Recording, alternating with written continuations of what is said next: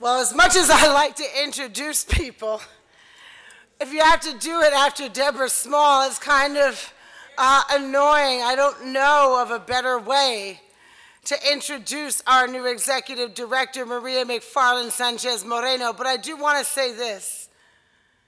When Ethan told us um, in January, uh, when he told me that he was resigning, I was trying to take a day off, and the phone rang, and it was Ethan Nadelmann, and I was like, ah, I can't get a date. And I picked up the phone, and he told me he was stepping down. I said, I can't talk to you, and I hung up. I was angry. I knew we had a conference this year. I knew how much he carried this conference. Ethan, I hope I've done you proud in trying to hold some space that you held this year.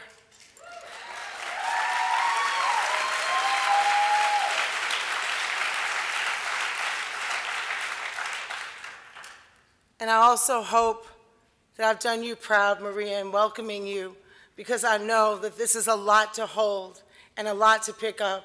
And in just such a short amount of time, the elegance and grace and openness that you have brought have taken away any measure of fear, any measure of doubt, and I join the 80 staff members of DPA in being proud to say, welcome is our new executive director, Maria McFarland Sanchez Moreno.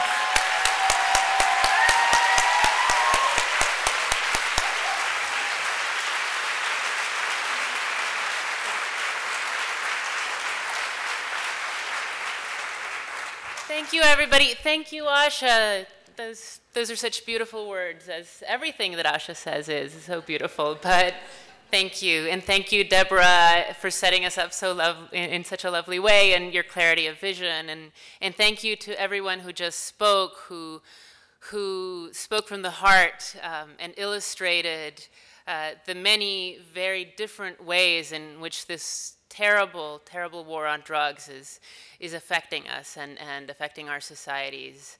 Um, I want to just start by, by thanking the people who put together this wonderful four-day conference in which we've all learned so much. And, and those are um, Jim Clapes.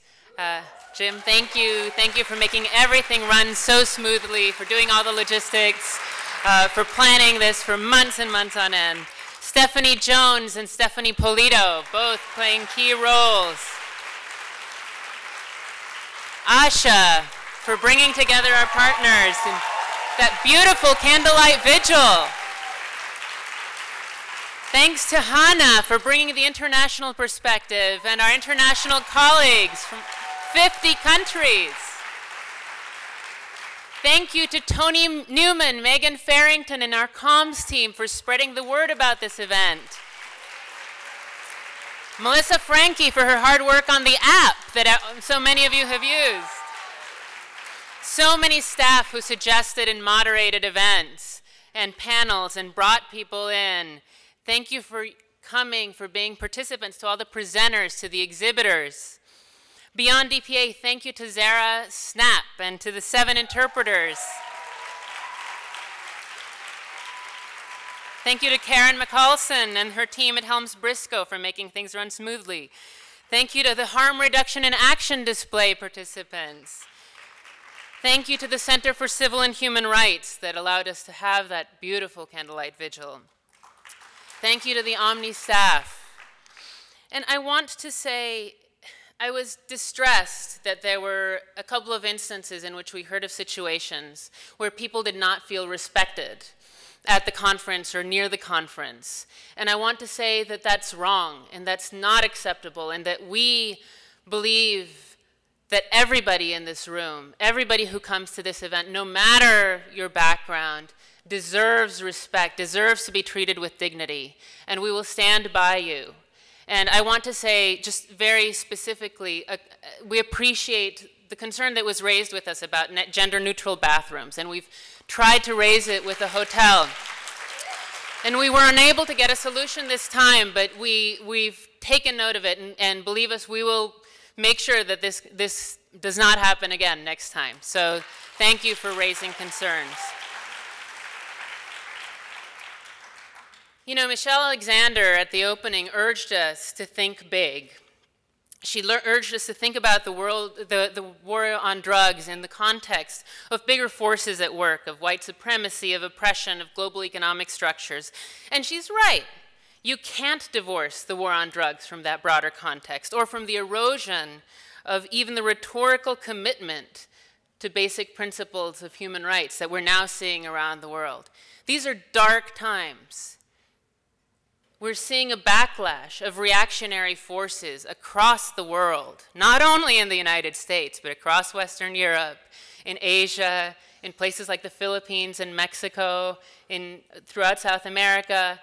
We're seeing a backlash to movements that have fought for rights for many years, that have fought for democracy, for open government. And the war on drugs doesn't express that backlash in its entirely, entirety, but it is a tool by which many of these leaders are trying to exert control, trying to oppress societies, trying to instill fear in others and justify their abuse. And that means that our work today is more pressing than ever. So as we fight to end the war on drugs, let's do so with a rich understanding of the context in which it's happening. And let's do so with a clear understanding about the underlying principles that guide our work. Because this isn't just about the goal of ending the war on drugs. This is about our common commitment to basic principles of human dignity, of human autonomy, of truth, of social and economic and racial justice.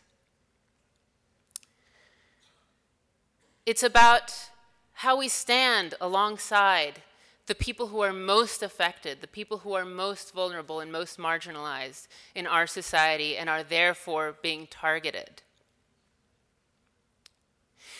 We also have to translate that into practice. And so that means that when we look at marijuana legalization, we don't just legalize willy-nilly, we think about how. We think in a very deliberate way about making sure that when we give out licenses to people that we do so in a way that integrates racial equity, that benefits those who have been most affected by the war on drugs. And that's not going to solve all problems because as my colleague Cassandra pointed out yesterday, you know, providing more access to licenses for marijuana is not going to repair the harm of generations of racism and inequality in our society, of injustice. It's not.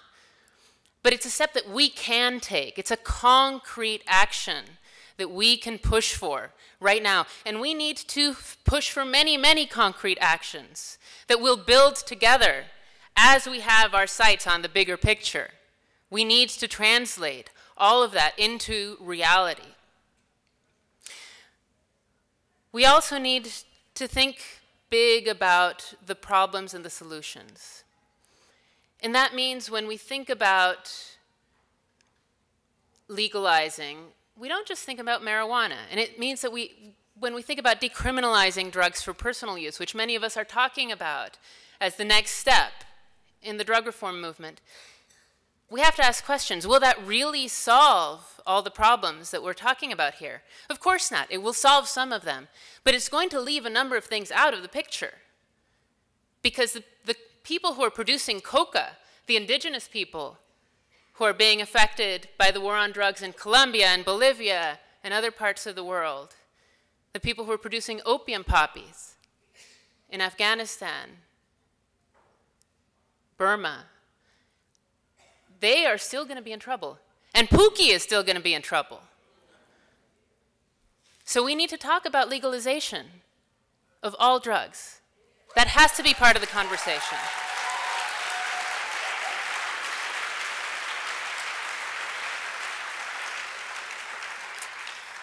And we need to work together. You know, part of thinking big is, part, is thinking across the different silos that we're all working in, the lines that divide us. We need to know that we are all partners. Everybody in this room in the drug reform movement, we have to think across the lines that divide us, but we also think about, have to think about other movements that are connected to ours and how we can work together and how we can learn from each other and think about common solutions. You know, whenever you have autocratic leaders, whenever you have tyrannies, fascism, it's a classic move to try to divide and conquer. We need to respond with strength, with unity, with truth. I said it before in my opening session. You, all of you here, are our heroes. This is our movement, our movement for truth, for justice, for human dignity. It's going to be really, really hard. This is going to take a long time. It's going to get a lot worse, I'm afraid.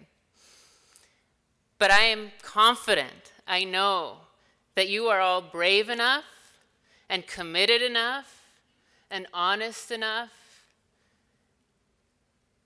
to make, to make it through. And we're going to make a difference. And we're going to transform this country. And we're going to transform the world. So thank you. Thank you all for your commitment.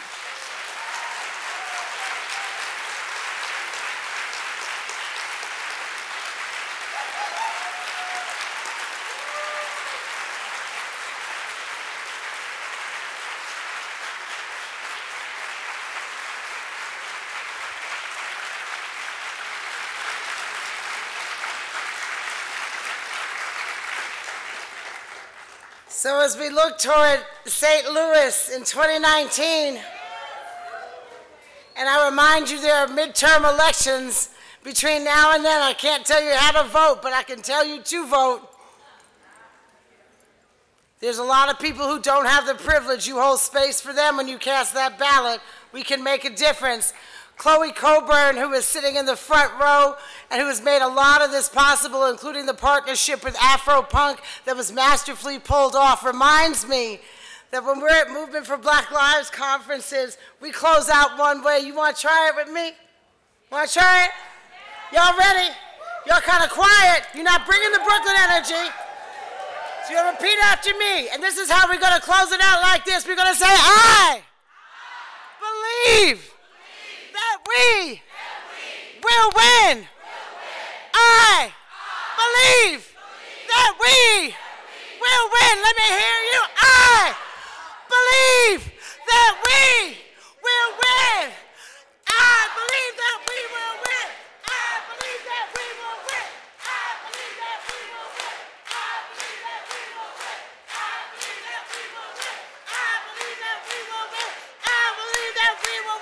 thought you gonna be tired? I'm just getting started. Let's go.